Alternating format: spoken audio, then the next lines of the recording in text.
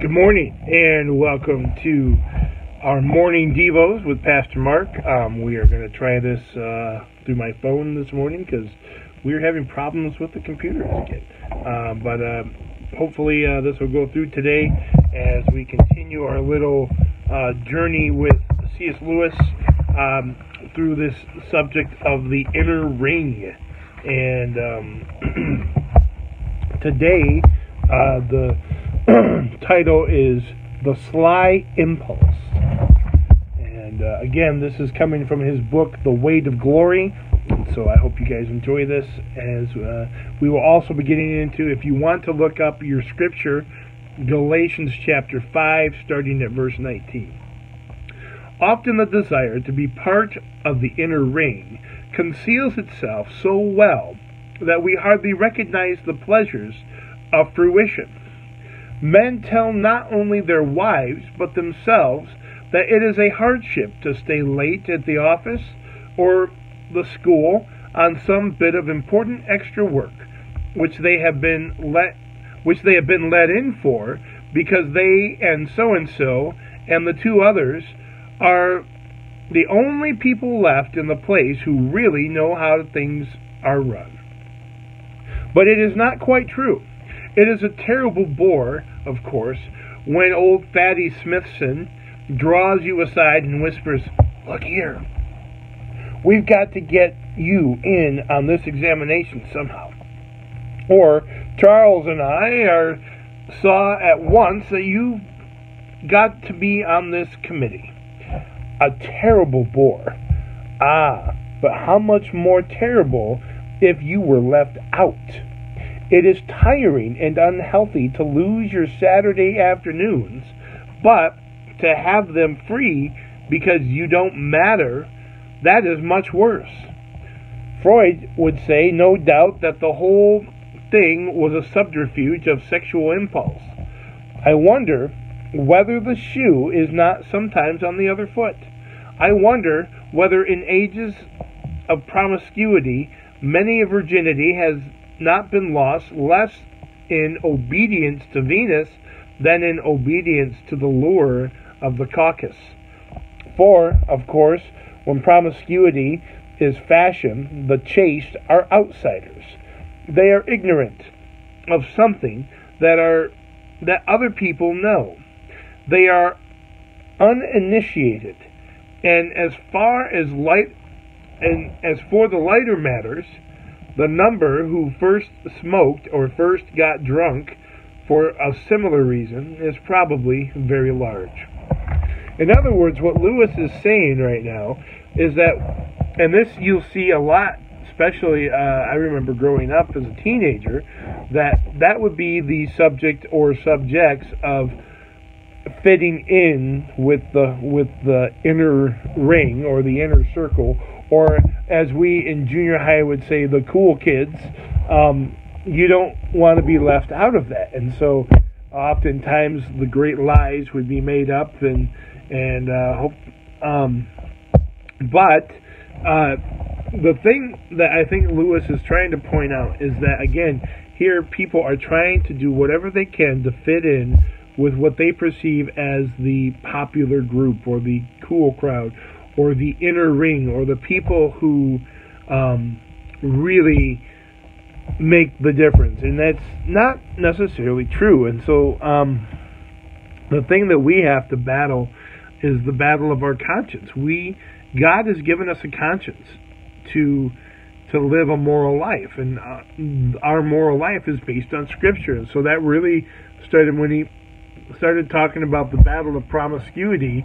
Um, is we have a battle to fight to stay pure um, until marriage. Uh, as believers, as followers of Christ, He wants us to be pure, and so, um, and He wants us to stay pure after marriage, because um, one of the things that actually was told as we were doing marital premarital counseling uh, uh, for Rachel and I, uh, our pastor told us, he said, Satan will do everything he can to get you in bed before you get married, and he'll do everything he can to get you out of bed after you're married.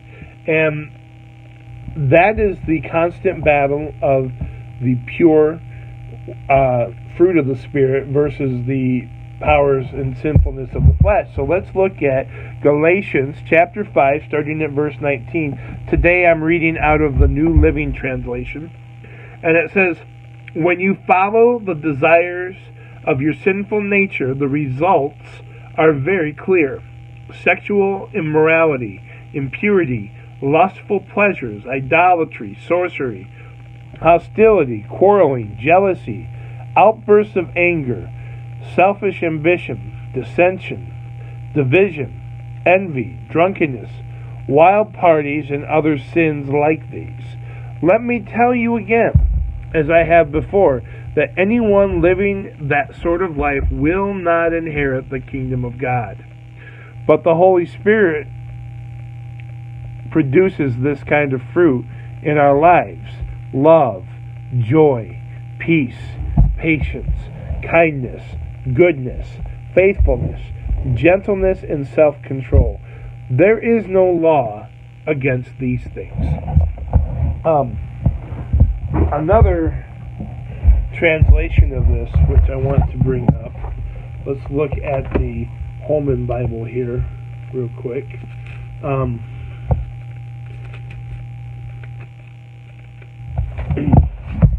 because these are things that we're faced with every day um, in our society, in our uh, in our world today, and it's not all honestly not all that different from when this was written.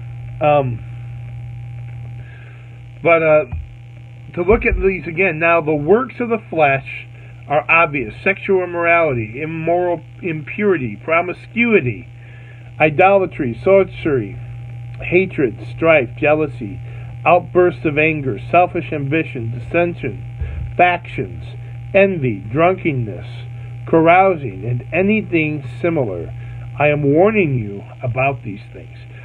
See, these are all things that in our world today are they're common, they're normal, they're they're outside of the Christian circle, these are all normal things that are no big deal to people anymore.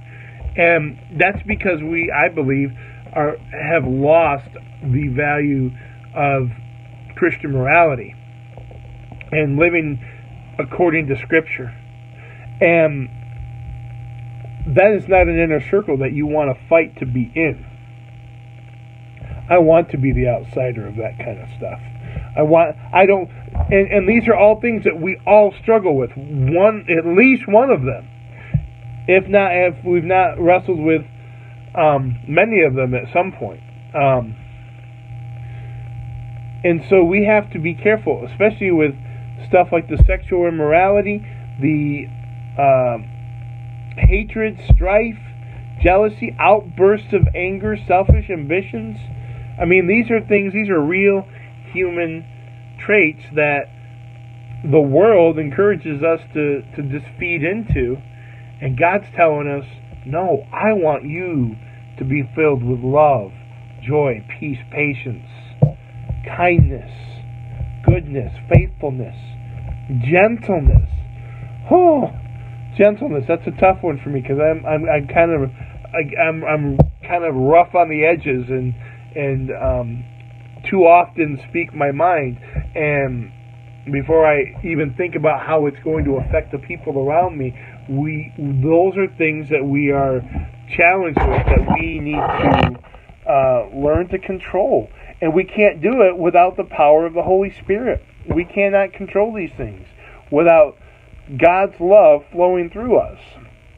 So as you think about these things today, and we think about this this battle of um, wanting to be in the inner ring, um, as Lewis puts it. Uh, think about how God is speaking into your life this week about that. How is God speaking into your life about learning to stand out of the crowd and not be a part of the crowd, not to be like the world? We're in the world, but what does He tell us? Don't be of the world. And that is our great challenge for today is to uh, be able to step outside of that, be filled by God's Holy Spirit, and live for Him today. hope you guys have a great day. I hope this came through okay. Let me know in the comments if this is if this has come through because it's kind of funny that I can't do this on my computer. But if it's coming through on the phone, well, praise God. Hey, His word is being heard and taught. And if you need that scripture reference again, it's Galatians chapter 5, verses 19 through 23. Um, or read the whole chapter because it really is uh, all about living by the Spirit's power and not our own.